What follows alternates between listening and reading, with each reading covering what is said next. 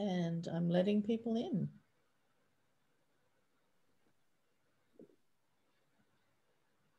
Hello, hello, and welcome to our guests who have just arrived. We will have more of you trickling in over the next couple of minutes, but I thought I'd admit you to start with. Um, welcome to Avid Readers uh, Zoom space again for some of you. Hi, Diane, again. Lovely to see you twice in a row. Um, and yeah, tonight is, um, I normally give you a weather report, and um, goodness, have I got some weather for you? Uh, I certainly was looking up um, BOM because we have um, one of our very rare small in-store events tomorrow night with um, a larger Zoom audience, and um, it is going to be a storm. So the weather has started tonight, and I think it's going to continue for another week. We're going to get some rain and hail. So um, I've closed my doors and windows against it. Imagine that um, if you're at Avid Reader, we'll probably be huddled inside, I think, against the cold and the wet, which is happening outside. Good reading weather.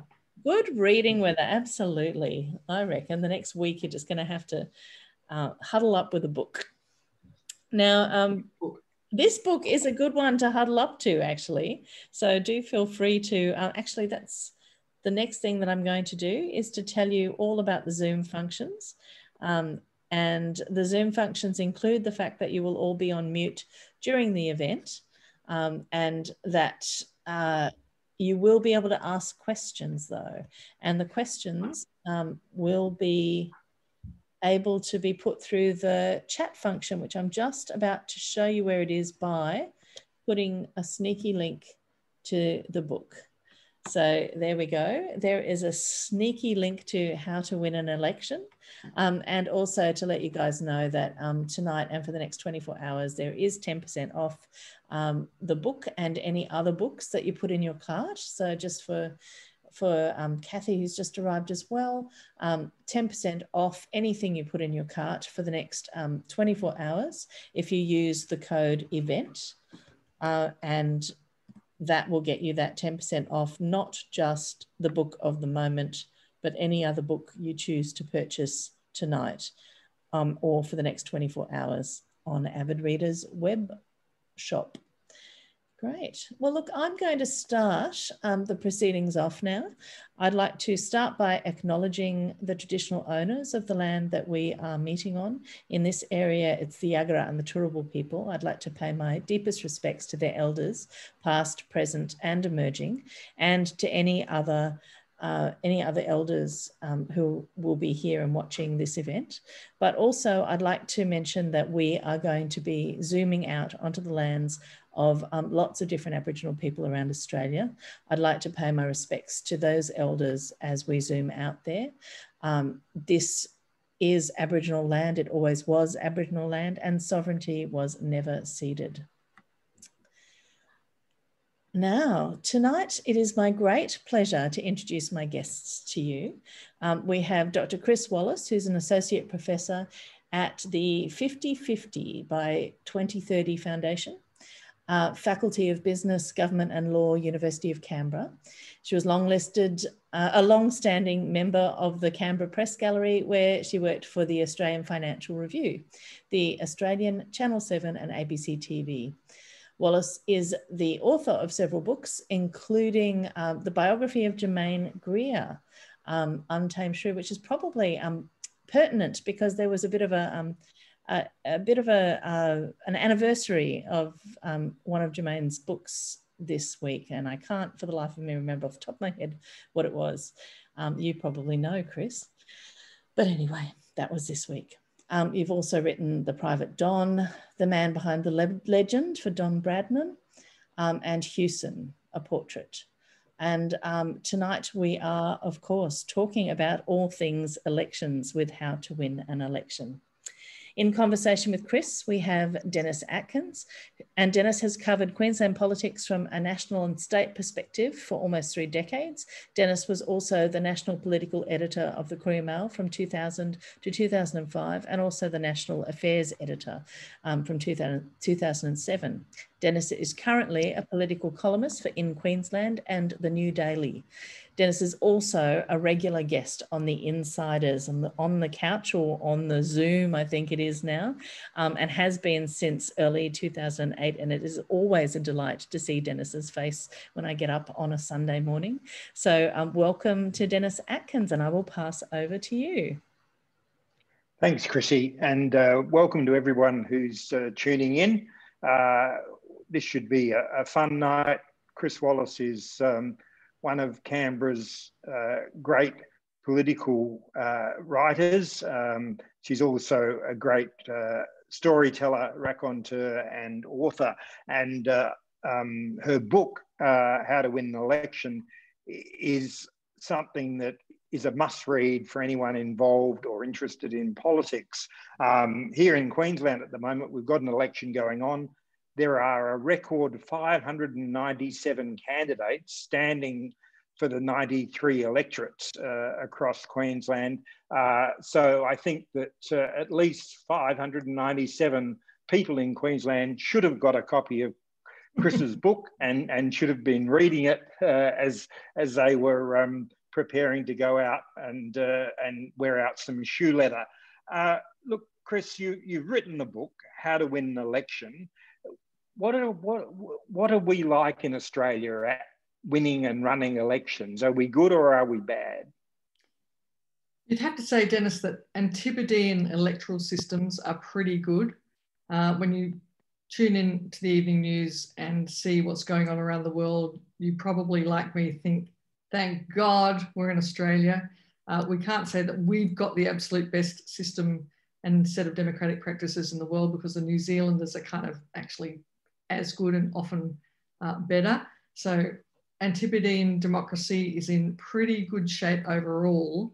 However, to, to really have the best democratic outcomes, you've got to have a strong opposition and a strong government, uh, with a strong opposition holding governments accountable for their behaviour and providing enough of a kind of competitive stimulus to make the government perform. And it's, it's kind of insidiously happened in Australia that federal Labor has become very bad at winning federal elections. Now, it's only when you kind of stand back and look at the, the record that you can see, and this is surprising to many people, the Liberal and National Party coalition has governed nationally now for 18 of the last 24 years. Now, except for the continuous period of, of Liberal National Party rule from the time that Menzies got elected through to the time that Gough Whitlam beat Billy McMahon in 1972, that, that 23 year run of continuous LNP rule. The current period, the last quarter century, is actually the second worst period for the Labor Party in terms of its federal election performance. So something's wrong. So you're saying then that uh, the Labor Party are pretty bad at um, elections, and the Liberal Party, Liberal National Coalition, are pretty good at it. If, if we look at that sort of, uh, you know, score scoreboard. Um, but we mm-hmm. often hear, and this is one of the things that always intrigues me uh, in whenever there's a post-mortem election, uh, we hear that Labor won the campaign but lost the election. I mean, yeah, that's that's a bit of a you know sort of a cop out, isn't it? That's that's sort of an excuse for why they lost. It is complete bunkum, and there's been way too much on the Labor side, uh, kind of letting it through to the keeper in terms of analysis.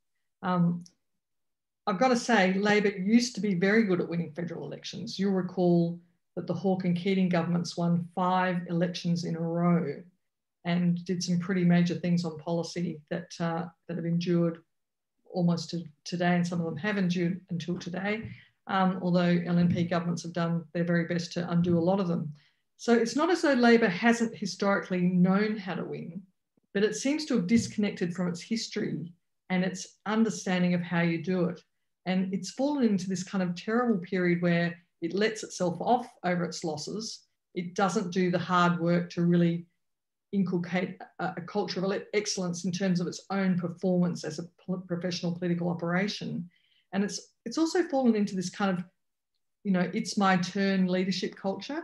So instead of federal Labor focusing on, okay, how do we really optimize our political operation across all the ways that we need to perform excellently in order to avoid unnecessarily losing elections, which is what happened in 2019 2016. Instead, Labor federally has fallen into this kind of hit and hope psychology, which is yielding loss after loss after loss.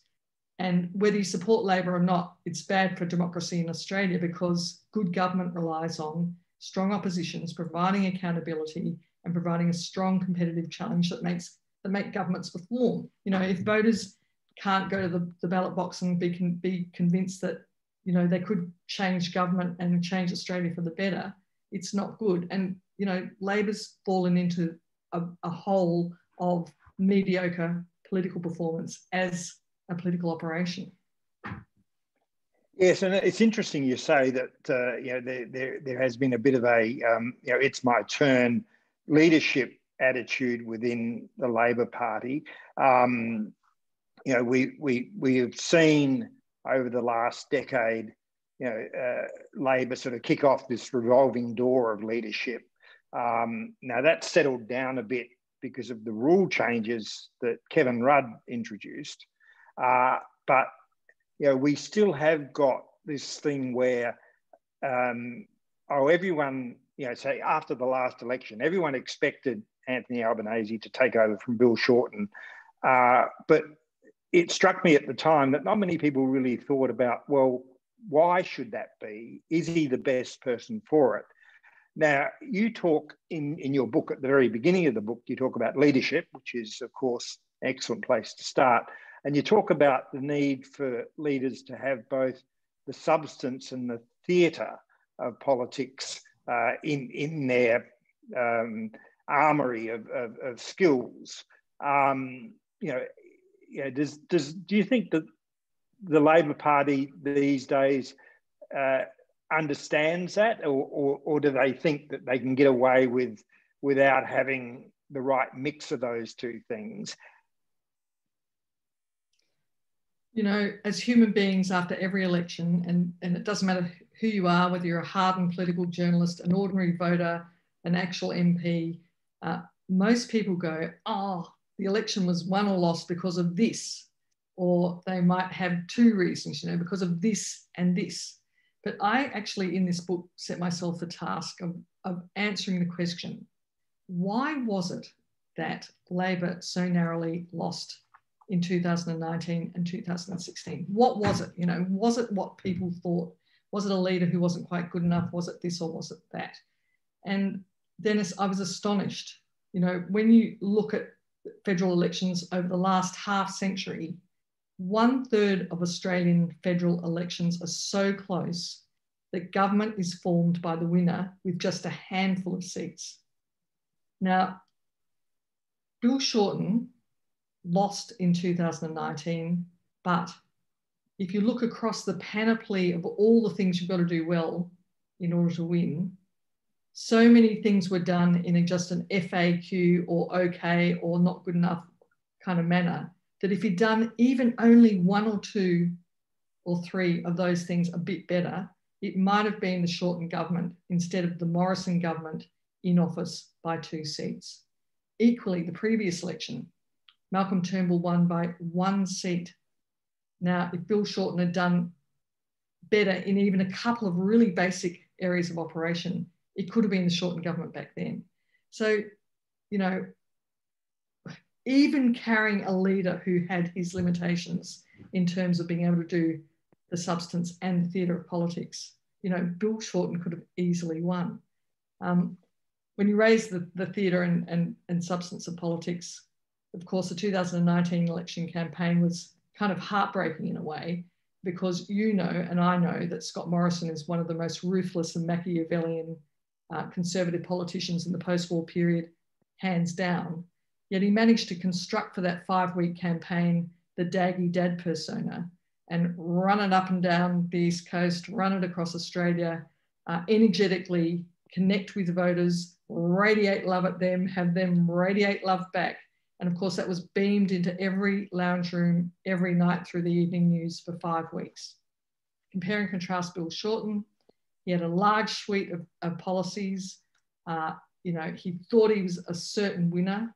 To be fair to Bill, every single Newspoll between the 2016 election, which he narrow, narrowly lost, and the 2019 election, right up to and including on election day, pointed to a Labor win but he was complacent, you know, had kind of started measuring up for the drapes. And, you know, while energetic, voter loving Daggy Dad was running around Australia, Bill Shorten was wooden, he was within himself, he wasn't connecting with voters. You know, you'd see him in in, in handshake lines and he'd already be looking at the next person's face before he'd finished interacting with the person he was dealing with. Uh, he was hmm. poorly art directed. He'd been coats, suit coats were a little too big, which made him kind of look like a boy on a man's mission. You know, the theatre of it was horrendous. And Scott, you know, when you're up against someone like Scott Morrison, super cunning, he managed to dodge up a persona that no one believes in, but worked, versus Bill, who was kind of already measuring up the drapes and didn't think to perform in the way that he needed to. You know, you just go, oh my God, you know, these are professional politicians. They should know better. They should be doing better. Yes, and um, I mean, it's interesting. You say in the book uh, when you're talking about, um, you know, the, the need to combine uh, substance and theatre, you, you, actually use a quote from the theatrical world where you say that uh, action is character. Um, uh, and with Scott Morrison, now we all know, you know, the cliche, Scotty from marketing and all that sort of stuff. But Scott Morrison does understand action. I mean, he, he's someone who, you know, to my mind, has completely understood, swallowed, digested, you know, become the uh, consultants um, mantra of you've got to be doing things. You know, the, the voters don't want you to talk about something, they want you to do something. So he is forever doing. Um, you know, is is Scott Morrison the ultimate action man in, in, in that sense? He understands that winning voters over is about emotion. And people love the kind of commitment and energy he radiates. He made it all about the voters. Whereas Bill Shorten, somewhat wooden, you know, kind of within himself, it seemed to be it was about Bill Shorten. You know, he was talking at voters instead of with them. And I, I think, you know, again, to be fair to, to federal Labor, uh, there's a pattern amongst social democratic parties around the world that they don't get that politics is about emotion. They think if you do a good analysis and you come up with a reasoned position and you come up with brainy policy, that it's kind of self-evident people should just know to vote for you. Whereas the other side, the conservatives understand that it's emotion. You know, they don't bother with facts or great policy or whatever. Uh, they, they're going for the emotion and they're winning election after election, uh, not on their merits, but because of, of their superior political craft. Meanwhile, on the social democratic side, you know, this lesson isn't, isn't being learnt. Um, I actually quote David Runciman, the uh, Cambridge academic, at one point in the book, who who has the very interesting insight that you know most people when they look at a, a, potential political leader that they might vote, vote for go you know do i like them but then the even more important question that determines where they put their vote is would they like me mm-hmm. so you had morrison performing the daggy dad it was all about the voters for morrison he radiated love at them they reflected love back Whereas Bill, it was all kind of inward focus. It was hopeless theatre. And, you know, it really cost him. However, you know, the tragedy is um, Bill Shorten can be a tremendously engaging and magnetic kind of character. And in fact, um, one of the anecdotes in the book concerns uh, Shorten going to talk to a group of students at an Australian university, not during the campaign, but you know, the run up to it. And it was a, it was you know pretty tough meeting, lots of tough questions, and the Vice Chancellor went and he heard Shorten give rote wooden answer after wooden answer, you know, uh, going on and on. then one student asked a particularly hard question about immigration. And Shorten gave this phenomenal response. He just lit up the room. The Vice Chancellor who told me the story said he was electrifyingly good. And after it ended, the Vice Chancellor went up to Bill and said, Mr. Shorten, you know, I couldn't help noticing that one answer. It was just spectacular. You had everyone in the palm of your hand. Why aren't you like that all the time? And Shorten told him, My office don't think it's leader like. They won't let me do it. Mm. So it's not as though Bill didn't have it in him to be the electrifying magnetic leader, you know, at least to the extent that Morrison was, but he didn't do it. And, you know, it, it's just not about Bill and Labor. Australia has so many deep policy challenges it's got to rise to in, in terms of climate change, inequality, employment. Um, you know, it really matters that Labor keeps fluffing elections. It really does. It's not good for Australia. Yes, and um, you know, we you you you talk about um, uh, in the book that so much of politics is about winners and losers, about um, you know trying to convince enough people that your policies and your approach to governing is going to make the bigger group in society better off. Um, I was struck by this, you know, when I when I was reading it, uh, it was just before the federal budget, and uh, and then the federal budget came along, and Anthony Albanese gave what I thought was a very good response to the federal budget, mm. um, and he identified uh, one of the missing bits of the budget, which was to look after working women, and so he rolled out the childcare policy, which creates a whole lot of winners. However, we've seen in the last week, few weeks um, Scott Morrison be able to turn that policy around and say, yes, but you're going to create many more losers by taking away their tax cuts. Uh, and Labor just seems to be floundering on that. I mean, why can't they win a debate that is as basic as that? That's a really tough question you and I both know, having having watched opposition close up in Canberra, uh, it's a hellscape. You know, you've got no currency with the journos. It's very hard to get cut through. Uh, the government has all the power. They've got the currency of information. They can put journos on the drip and get favourable coverage and so forth. It's a tremendously hard thing to do to, to really cut through as an opposition. And yeah, all, all credit to Anthony Albanese for a terrific budget supply reply speech. I think many people were surprised just how good it was, just how much good quality policy was in it. And you're quite right. Labor is targeting in its reply working women. How do you get the message through against the overwhelming onslaught of the power of government in information terms? Well, you know, you've got to do all the things that I've laid out in this book really, really well, starting with doing the theatre as well as the substance of policy well so that your message can get through. Because if you're not engaging emotionally with voters, they're not going to hear your message. You've got to have fantastic people around you who can bring votes along with them. And I think probably Anthony, Anthony Albanese compared to Bill Shorten uh, has got he's got an easier job in that he's got a very very good Treasury spokesperson in Jim Chalmers, who's doing a really wonderful job compared to Bill Shorten's shadow treasurer, Chris Bowen. Um, there are so many things that, that need to be done really, really well to get the message through. And it's, it's just 10 times harder from, from, from opposition. So what Anthony Albanese should do is one thing.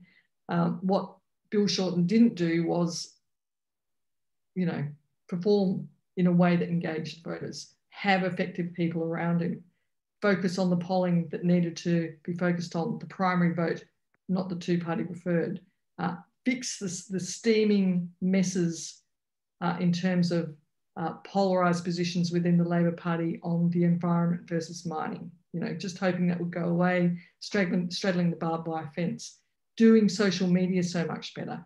There were so many things Shorten could have done and didn't that, that Albanese is to an extent doing better but I've got to say, given the whole of the 10 areas I cover in the book, uh, I'm not exactly sensing a fevered kind of, you know, hive of activity in lifting Labor's overall professionalism in terms of its execution of its political craft. And the thing I look at is the primary vote, which is still cellar dwelling. You know, it's still around 33, 34% for federal Labor. Historically, Labor has never won uh, an election with less than about 38.5% primary vote. Now, you know, the next federal election is probably around a year away. Uh, the Prime Minister has declared this week that he's going to go full term, probably the greatest mislead in, in politics you'll hear this year. Uh, everybody in Canberra thinks the economy is going to be dire in 2022. So very likely the election will be next year. Yet I'm not, you know, I'm sensing some improvement, but not the desperate kind of fevered, comprehensive improvement professionalism compared to last time around that there should be if Labor's going to get its primary vote up to an, to an election winning level. Yes, well, just to pick up on, on that point and uh, the other thing you talked about, which is Labor's problem of um, uh, working out its policy mix between the environment and development, in particular resource development. Um, and you go into uh, in the book at, at some length uh, and very well the, the problem that Labor had at the 2019 election here in Queensland, um, where the Adani mine, huge mine in the Galilee Basin, uh, became a flashpoint for both sides. Um, we had the Bob Brown convoy, and then we had Matt Canavan and, and his uh, group Matt Canavan uh, from the National Party and his group in central Queensland. And, you know, they, practicing the old divide and rule, you know, they, they said, okay, well, Labor doesn't care about workers. And all of those regional seats out of southeast Queensland went to the LNP with the exception of Bob Katter's seat. Um, so, you know, can you explain uh, uh, a, a, bit more why these why you think these problems arise for Labor, and is there a way uh, that Labor can overcome them? I know you you you go into that in the book. Um, just take us through some of that. So you know, you, this is an avid reader event. You're all in Queensland. You know, you are so important. Queensland is so important as a state uh, because of because in so many ways you're kind of uh, you're the past, but you're the future. And the, the split within the Labor Party between people who are fiercely committed to the continuation and expansion of resources industries, which traditionally provide jobs in, in rural and regional areas, especially in Queensland and Western Australia on the one hand, and environmentalists on the other, who really want much faster and deeper action on climate change, is a, is a, a really entrenched thing. And you can see that in the way um, Joel Fitzgibbon, the member for Hunter, versus Mark Butler, Labor's, you know, spokesperson on these kind of issues, kind of duke it out in public in a very unattractive way. Now, if you stand back for a minute and you look at the other parties, this is what you see. You see the Liberal and National Party coalition, who, if they could have their way, would turn the whole of Australia into an open cut coal mine. On the other side, you've got the Greens who would shut every mine tomorrow. Now, both are deeply unrealistic and unattractive, unattractive propositions. In the middle, you've got the Labor Party, which has both of these positions within them. And in the book, I argue that this is uniquely Labor's problem to solve. Because unless it solves this problem internally, it's going to be unelectable. I cast back to problems of a similar kind and dimension that were dealt with in the Hawke government. You know, really cataclysmically serious political and economic restructuring problems like the steel industry, the textile clothing and foot, footwear industry. Now, back then, the Hawke government, as a matter of routine, would get everyone around the table, everyone would get everything off their chest, and together, Labor's front bench would craft a comprehensive policy package that has satisfied no one, but which by the end of the process which has to start off with a lot of jawboning and a lot of getting emotion off the chest, would lead to a position where everyone would sign up to a comprehensive policy package that no one thought was perfect, but everyone agreed was broadly fair, that took care of the workers concerned, transiting them to a different kind of future and compensating them and their families mightily in the process. Now, it's not brain surgery.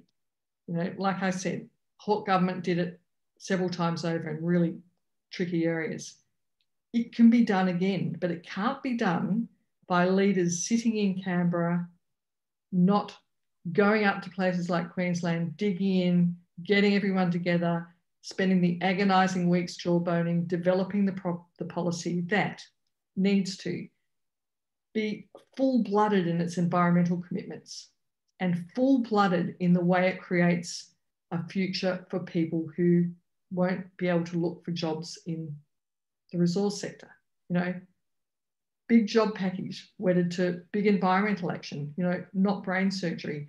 But I'm not seeing it happen. I'm, I'm seeing, you know, that kind of fence straddling role that Bill Shorten had, you know, which leads to terrible grazes, Dennis. You know, that that pain Bill Shorten was feeling as he straddled that barbed wire fence should have been a clue to actually develop a better position. And I'm not seeing Albanese do it either. And until Labor solves that, how on earth is it going to win enough seats in Queensland to form federal government?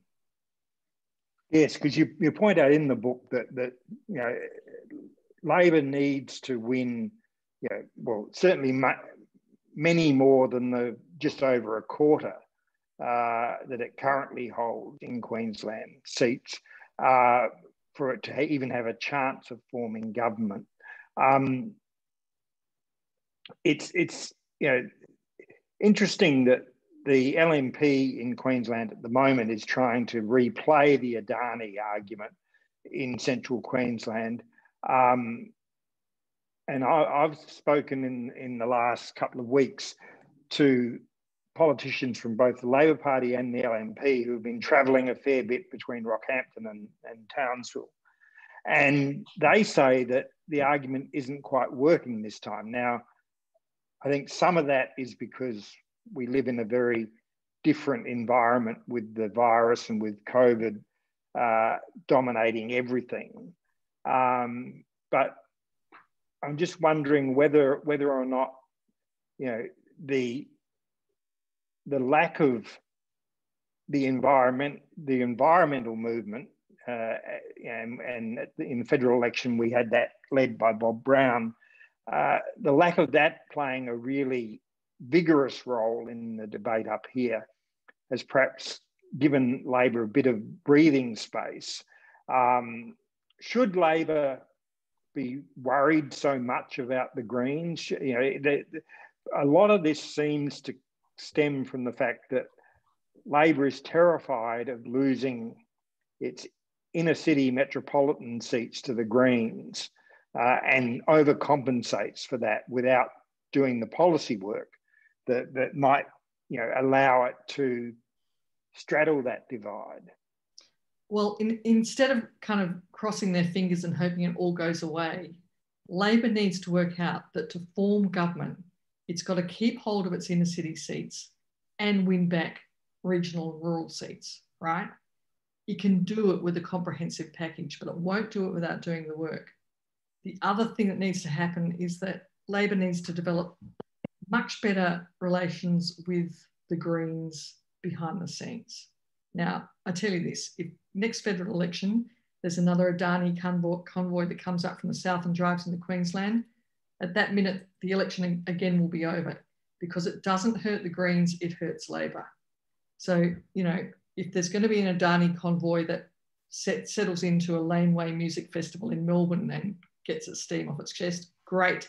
And that's the only, that can only be achieved if there's better internal relations behind the scenes between Labor and the Greens, a deal for constructive, not destructive competition the Greens, on their part, have got to work out if they keep doing things like the Adani convoy in 2019, they will continually deliver federal government to the, to the LNP.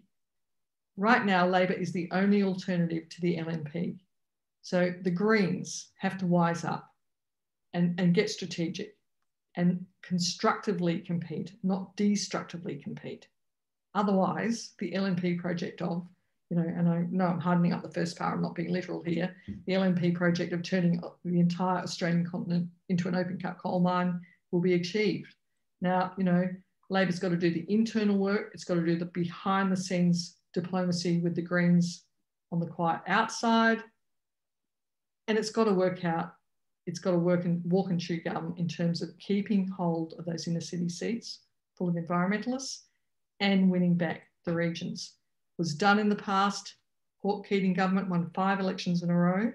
Can be done in the future, but it won't be done until Labor's much better across the board at basic political craft and stops unnecessarily losing elections. Yes. Now, you, you and I are both sort of uh, you know, battle scarred veterans of the Canberra Press Gallery. Um, and show, know, show my scars. Yes.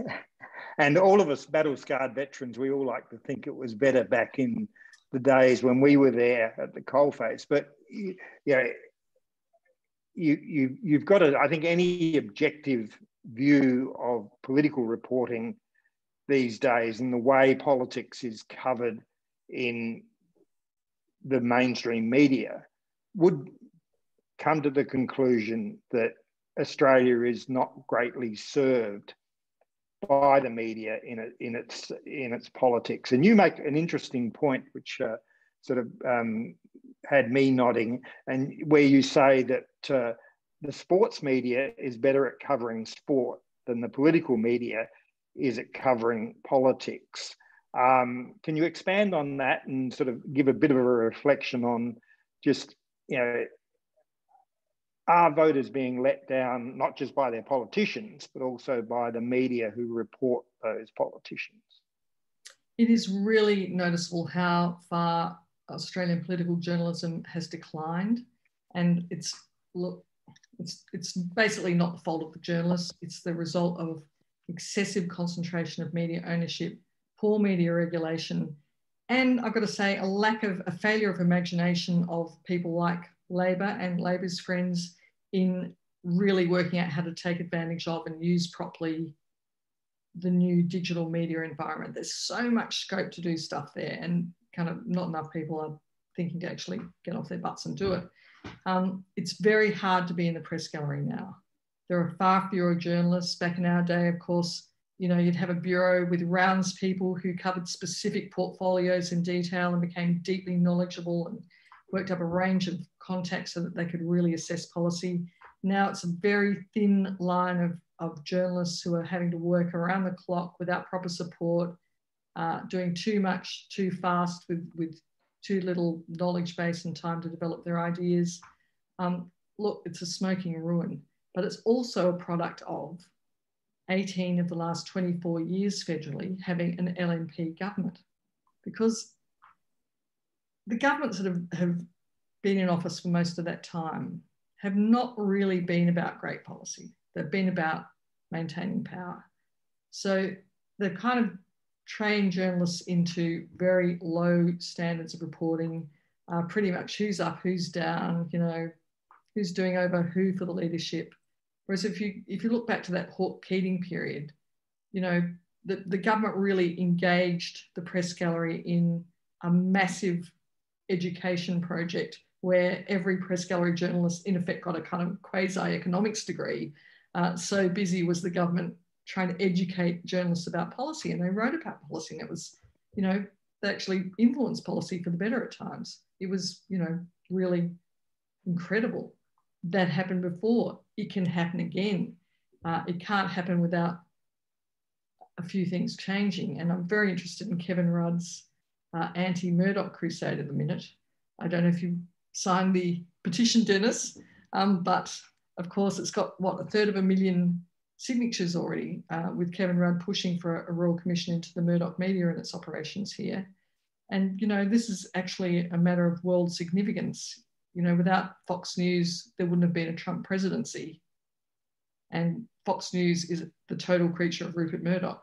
It's, you know, its creator.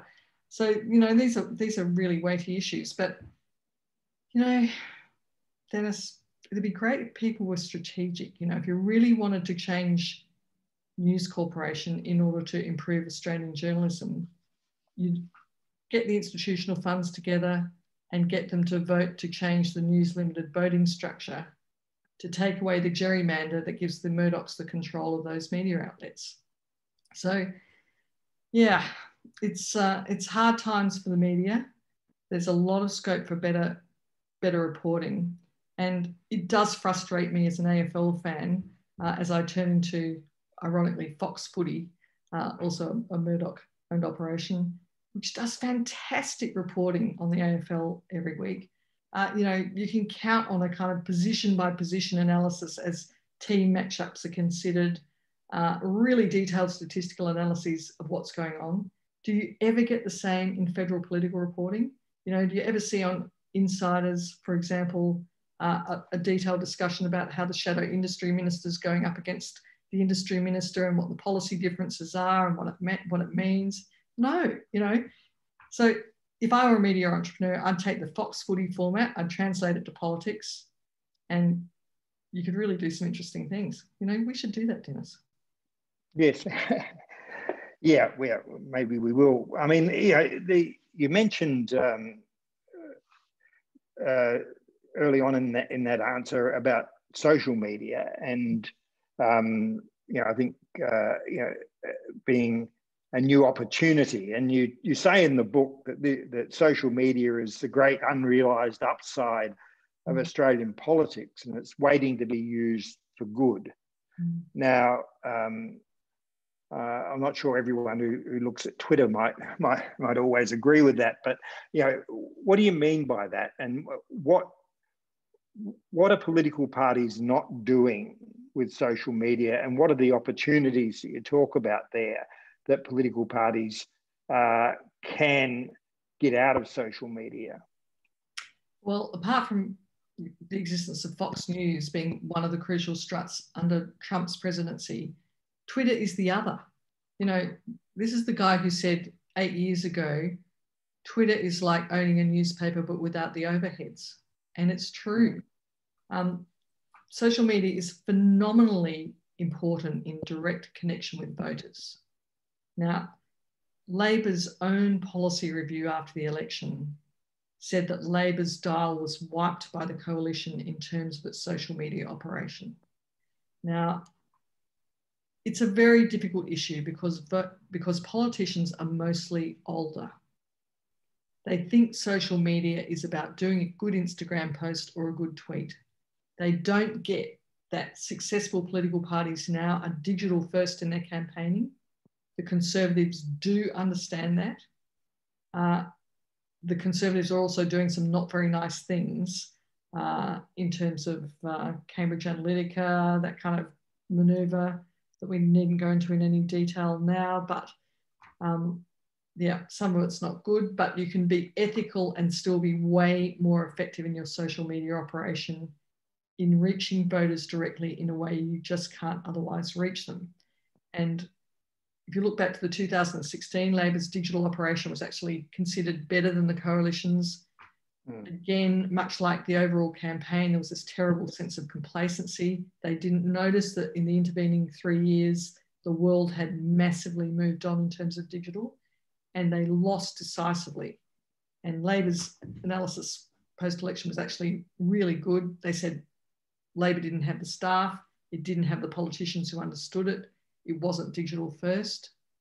But again, you know, from the outside looking in, I'm not seeing a big lift in Labor's social media operation. What I'm seeing is, uh, and big caveat here, I think Anthony Albanese's done a lot better in the last few weeks.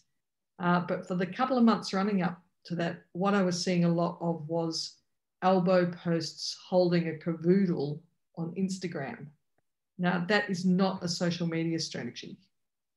So, again, you know, a lot has happened in the last couple of weeks, which uh, provides hope for people who want Labor to do better. I think Albanese's budget reply was excellent. Jim, Car- Jim Chalmers' press club budget speech was excellent. I think um, Richard Marles and Tanya Plibersek have been doing very well in Parliament in terms of holding the government accountable on uh, some recent dodgy doings. Plibersek's been fantastic on education. Chris Bowen, way better on health than, than uh, he ever was in Shadow Treasury.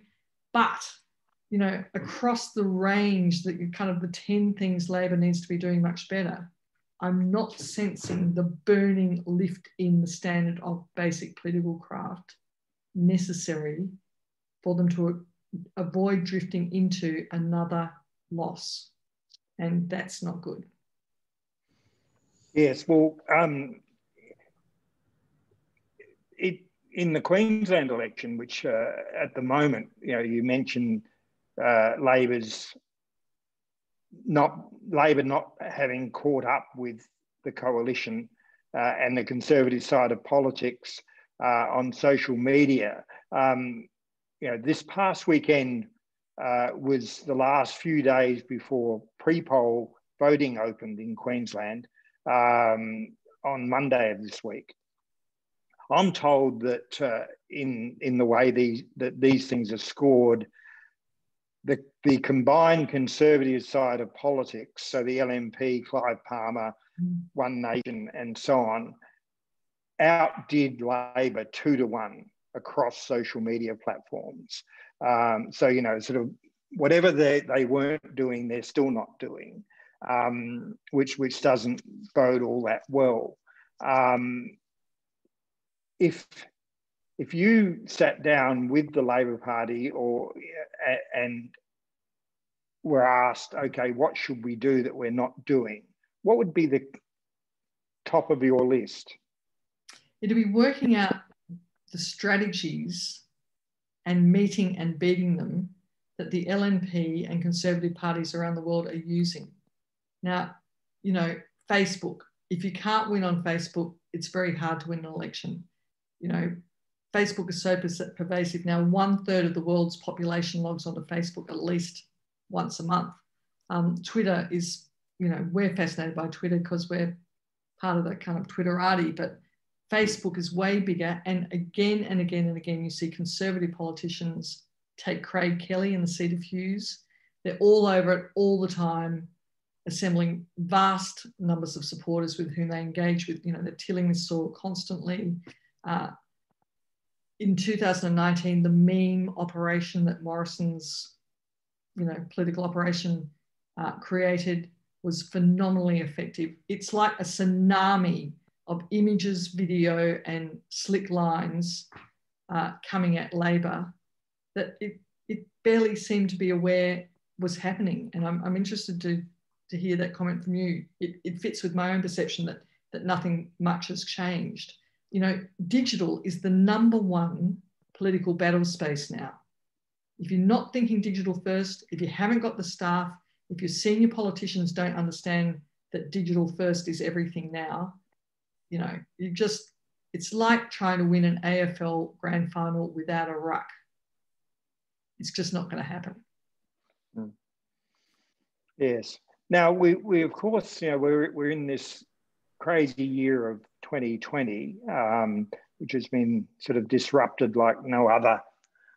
And we, we have had a number of elections. We've had two territorial elections. We've had a national by-election in the seat of Eden Monaro, and at the moment we've got the Queensland state election. Um, how is, do you think that the year of the pandemic, how has that changed the demands on politicians and political parties? Um, and, you know, are there opportunities that, that, that, this presents and are there difficulties that uh, are thrown across their path as well? The ACT election and the re-election of the Ardern government in New Zealand, plus the current federal polling in Canberra, which has Scott Morrison well ahead and the coalition well ahead of Labor, all point to, you know, a pretty common understanding in politics that in crises, people stick with incumbents. Uh, if you think back to 2001, uh, the, the election that um, that John Howard won against the backdrop of the September 11 attacks, and then he doubled down on, on that theme with the Tampa crisis uh, of his creation. Uh, that's a kind of a well-established principle of politics. In crises, people support incumbents. However, the US election uh, is unlikely to see the incumbent returned. You know, never say never. We'll all remember what happened last time round, but I think it will be surprising if the incumbent Donald Trump is re-elected because incumbency isn't enough. You've got to be an incumbent that actually can portray a sense of competence that make people want to stick with you. So, you know, I, I kind of worry that, you know, the the sense of drift in Labor might turn into a sense of defeatism about whether it's even possible to win next time around. That could feed into a kind of defeatism about fixing up its performance in this across these 10 areas that it needs to do way better, better at in order to avoid unnecessary, unnecessary losses. Um, I think if Labor gets into that psychology of drifting toward another loss and thinking, okay, you know, we can't win this time around, but we will next time, uh, that it'll just be another, you know, few Ks clicking down the road to lost opportunity as inequalities grow, the climate, you know, goes down the gurgler.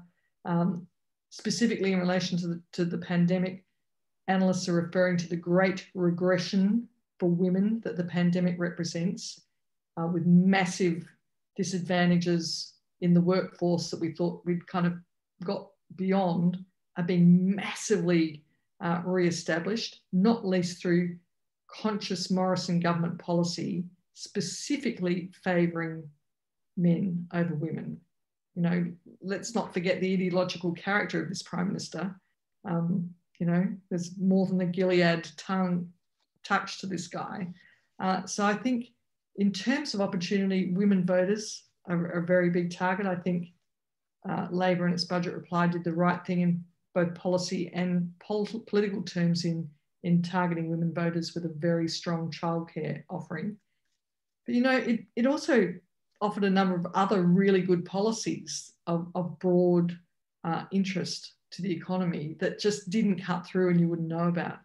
So, yes, incumbents usually win, incompetent incumbents don't. And Dennis, you and I know, because we've seen it more than once, every election is there for the winning. Now, the entire LNP had given up on the 2019 election. Senior cabinet ministers retired from politics. Julie Bishop, Chris Pyne, Kelly Dwyer, on and on it went. They thought they were gone for all money. Josh Frydenberg thought right up until election day the Libs were going to lose. One person, Scott Morrison, thought, I can win this election, and he went out there and won it. You and I saw that in 1993 when John Hewson lost the unlosable election to Paul Keating, who did not accept that that was an unwinnable election. So, whether you're a Labor supporter or not, everybody ought to want the Labor Party federally to be going at it bald headed to try and win that next election. And I'm just not feeling that's the vibe. Mm. Yes, yeah, it, it, it, certainly doesn't feel like it. Um, I thought we might just touch on, uh, you know, one thing that uh, is similar from the last federal election, 2019 federal election, and the current election in Queensland, and that is the presence of the great disruptor, Clive Palmer. And you, you, you, you talk about him in your book, and, and you talk about uh, the fact that um, the ANU's election study uh, had a look at his impact and, and that he, he, did have a real impact. He was able to, uh, with his shifty, Shorten advertisements, um, really damage the Labor Party uh, and the Labor leader. And of course, then Scott Morrison and, and, and the coalition sort of reap the rewards from that. Now he's back on the stage with TV ads, media ads, and a huge social media presence, uh, screaming that Labor in Queensland, the Palaszczuk government, is going to introduce a 20% death tax to pay for all of its promises. Um, you know, it, it's complicated by the fact that he had such a you know, open the borders policy, which is very unpopular in Queensland. Uh, but what do left of centre political parties do about a right wing, marauding, cashed up disruptor like Clive Palmer? Well, Clive Palmer is a major challenge to Australian democracy, and being able to throw that much money at one election, what was it, 80 plus million in the federal election last year, uh, absolutely outrageous and undemocratic. Dennis, it was already a problem in 2016, and it wasn't Clive Palmer. Why Labor did not go to town on the fact that Malcolm Turnbull, in the last fortnight of the 2016 election, with the donation of $1.75 million of his own money, essentially bought his own win with the extra advertising power that that donation created. You know, campaign finance in Australia is a steaming wreck, massively crying out for fundamental reform. These are anti democratic uh, moves that have resulted undoubtedly in contributing majorly to, to losses for Labor that wouldn't have happened otherwise. That said, can you remember a single ad from the Labor Party from the 2019 election? No, you can't. They were that boring. So you can remember Shifty Shorten from Clive Palmer. You can remember the bill you can't afford from the, the LNP. But Labor's advertising, I mean, what even was it? The one thing a political party's got total control over is its political advertising. Make great cut through ads, make brilliant mm. ads. And if they're boring or not memorable, don't pay for them, don't run them. It's pointless. So, you know, you look at the Democrats in the US, they've raised tons of money. Uh, they're making much better ads. They're beginning to twig that emotion moves voters, not reason. And partly they've been shown these skills by people like the Lincoln Project, who are Republicans. Yeah, I see Ruby nodding there, and Diane too. Uh, you know, Republicans who totally understand that you move voters through emotion, uh, and have really been showing the way, making their own anti-Trump ads uh, to tremendous effect. I've got to add, I'm not arguing for empty politics that's only about emotion. I'm arguing about arguing for social democratic parties creating good, reasoned, powerfully, you know, constructive policy, and then welding emotion to that to persuade voters to their camp. Uh, you know, let's let's hope they twig soon. Yes, well, they can do uh, you know a lot worse than you know pick up a copy of this uh, and read it and um, tell their friends to buy a copy and read it, and particularly tell uh, people who are involved in politics to buy a copy and read it because uh, it's a you know uh, as uh, Laurie Oakes says, um, you know, Ten Commandments for politicians. Are you listening, Labor? Uh, who have forgotten the basics, and that seems to be the message out of the book that politicians have forgotten the basics. Um, I don't think Scott Morrison has. I think Scott Morrison has a tremendous understanding of the basics. Um, and that's why you know he's in such a commanding position in Australian politics at the moment. But you know, no one is unassailable. Mm. Um, so um, it's been great tonight talking with you, Chris, and uh, you know, keep writing and keep doing what you're doing. Thanks, Dennis. Thanks, Chrissy, and thanks all for coming. Um, you know, we've really got to change Labor's performance for the better. Uh, so spread the word. There are actually a lot of people inside the Labor Party reading it. Um, I think there's a hesitation to have public discussions about some of the points, like uh, ending the turn-taking leadership approach. But you know, unless we spread the word, lift the basic political craft needed to avoid unnecessary losses. They're going to keep coming. Fantastic. Labor's got to learn again how to win an election. This has been uh, an absolutely fascinating conversation. We've had quite a few um, political um, uh, conversations on our events program lately. And, and, and I really feel like this has been one that's just cut through and has um, really um, hit some points that we haven't heard before and that we really need to hear. Um, one one thing I reckon is that they should possibly hire ex-avid social media person Chris Curry to do their social media because he would totally win the election. Um, he fought the trolls over, um, you know, for the feminists, and um, I reckon he could certainly fight through. Um, we have one question um, from the audience, and I just thought I'd quickly ask that before we finish tonight and that is from Ruby. Do you think that Albanese is capable of um, doing the theatre of politics? It's a really good question, Ruby, and I'm not going to answer it. And I'll tell you why. If we make these discussions particular to individuals, the lessons aren't going to be learned. Mm. So, so in the book, one of the unusual things I do is I start each chapter by putting myself in the mind of the failed leader. Yeah, and as they as you go through the book, by the end, the failed leader's gone.